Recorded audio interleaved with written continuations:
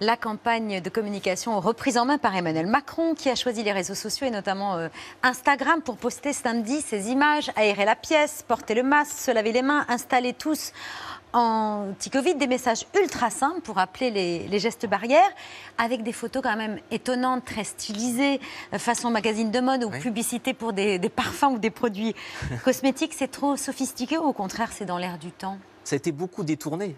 Énormément détourné. moi j'ai découvert, je vais vous dire, enfin une confidence, j'ai découvert par, par, les détournements. Mais qu'est-ce que c'est que ces images détournées? Après, je suis remonté à la source du dimanche. Effectivement, c'est la campagne euh, de l'Elysée euh, qui montre Emmanuel Macron. Qui a été instantanément euh, parodié et détourné avant même d'atteindre sa, cible. Mais vous savez qu'en communication politique, justement, c'est l'objectif qui est poursuivi. C'est plus on en parle, mieux c'est. Ah. Puisque, Donc c'est une réussite là. Et, bah, en tout cas, dans l'objectif de faire parler des gestes barrières, évidemment, puisqu'on en revient à un moment donné à la source, pourquoi il fait ça Emmanuel Macron? Il y a aussi le slogan tenir ensemble qui est devenu, on a eu la France unie euh, euh, à l'été dernier, là c'est tenir ensemble, ça c'est depuis le mois de novembre, depuis la, mm. le deuxième confinement.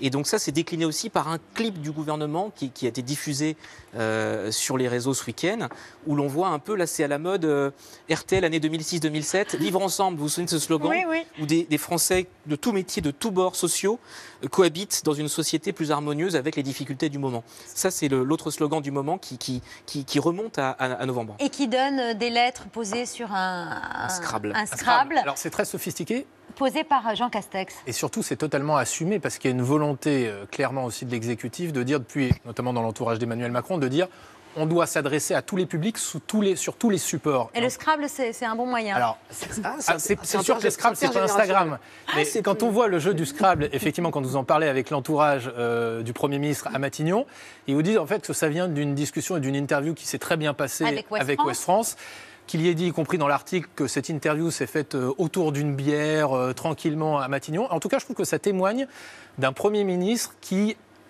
en tout cas, c'est ce qu'on nous dit, va beaucoup mieux depuis quelques semaines. C'est-à-dire assez détendu pour jouer au Scrabble, ah, pour s'autoriser ce genre de com. Avant Noël, on nous disait, il est en voie, comme on dit, de cressonnisation. Mmh. Regardez, il est au, au, fond des sondages, ça va mal se passer, c'est bientôt fini, Jean Castex. On voit qu'on a passé cette étape-là à la fois parce qu'on voit bien, et je pense que les Français le voient, que Jean Castex, c'est vrai, il n'ambitionne rien d'autre pour l'après-Matignon, donc il fait son travail sans autre ambition, et probablement aussi parce que plusieurs de ses collègues l'ont perçu, et il n'y a plus les attaques politiques qu'on avait pu voir ces, ces, derniers temps. Il y a plusieurs membres du gouvernement qui vous disent, bon, on a compris, ça ne sert à rien de l'attaquer, on n'a pas les mêmes ambitions à terme. Et donc vous avez un Premier ministre qui est assez détendu, qui se permet de faire ça, comme rappelez-vous, qui s'était permis de faire, de poser en famille dans Paris Match au moment des fêtes de Noël. Euh, Édouard Philippe, par exemple, ça ne l'avait jamais fait. Le Scrabble, c'est parce qu'il disait à West France que euh, un mois à Matignon, c'est comme au Scrabble, c'est mot contre triple. Les mois comptent triple aussi pour lui. Chaque jour gagné est un jour de plus à Matignon. Mais si on prend un peu de recul sur ces deux campagnes, pardon, de communication, euh, c'est aussi pour faire patienter les Français, en réalité tenir ensemble, faites les gestes barrières, c'est parce qu'évidemment, à 2-3% de la population vaccinée, il va falloir attendre des semaines et des semaines avant d'arriver à l'objectif de l'immunisation complète.